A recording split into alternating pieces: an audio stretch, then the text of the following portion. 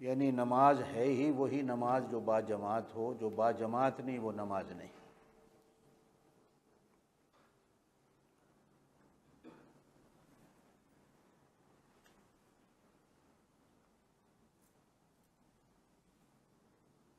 चार इमामों में से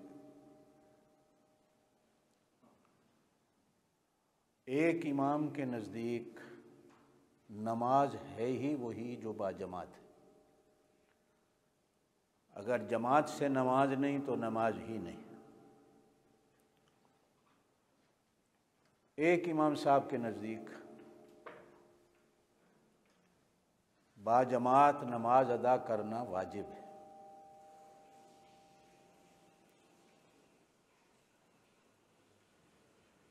एक इमाम साहब रहमत के नज़दीक बाजमात नमाज़ अदा करना सुन्नत मुक्दा है।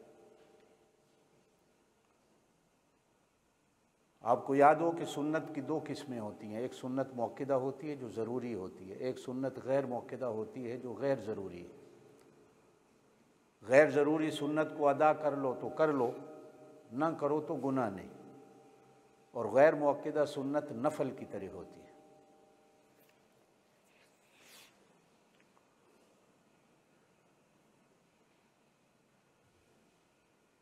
एक सहाबी फरमाते हैं कि आप सल्लल्लाहु अलैहि वसल्लम ने इशाद फरमाया कि जो बंदा बाजमात नमाज़ नहीं पढ़ता, ख़तरा है कि कहीं वो मुनाफिक न हो जाए।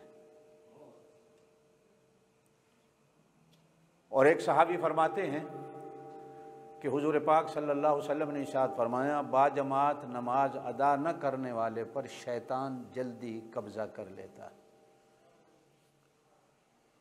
फिर उसकी मिसाल दी गई हदीस के अंदर कि भेड़ बकरी अगर अकेली चल रही हो तो उस पर भेड़िया या शेर, ये जल्दी हमला करता है। अगर रेवड़ के अंदर हो तो उस पर हमला करना ज़रा मुश्किल होता है। इसलिए कि रेवड़ के साथ कुत्ते भी होते हैं, चराने वाला भी होता है, भेड़िए को भी डर होता है, शेर चीते को भी डर होता है। अकेली कोई चीज़ फिर रही हो, बकरी, भेड़ तो उस पर कुत्ता भी हमला कर लेता यही हाल नमाज़ का कि बाजमात नमाज़ अदा करने वाला रेवड़ के अंदर है।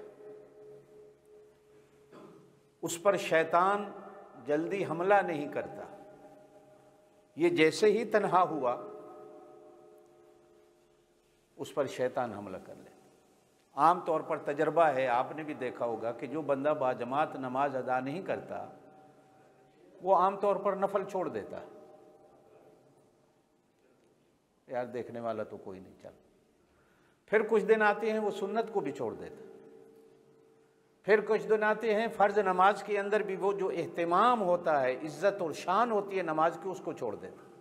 फिर एक दिन आता है कि फ़र्ज़ नमाज़ को भी छोड़ देता। आप सल्लल्लाहु अलैहि वसल्लम ने इशाद फरमाया, तमाम अहादीस की किताबों में हदीस है कि नमाज़ का टाइम हो, मेरा दिल करता है, मैं किसी और को मुसल्ले पे खड़ा करूँ और चंद आदमियों को लेकर लकड़ियाँ इकट्ठी करूँ जो लोग बाजमात नमाज़ अदा नहीं करते, घरों समेत जाकर उनको आग लगा दूँ। बड़ी सख्त हदीस है और ये हदीस की सारी किताबों